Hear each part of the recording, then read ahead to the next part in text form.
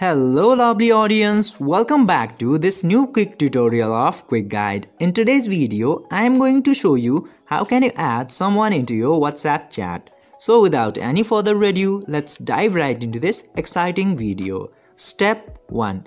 Open your WhatsApp.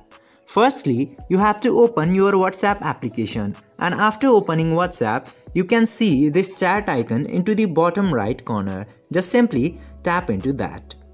Step 2. Select the contact that you want to add into chat. Now after coming here, you just simply have to select any of the chat that you want to add into your WhatsApp chats.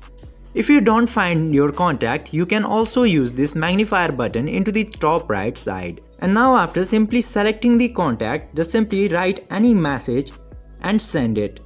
After doing this, the specific chat will start appearing into your chat feed in WhatsApp. I hope this video was helpful for you. If yes, don't forget to like, share and subscribe to the channel to never miss another update. Thank you for watching this video.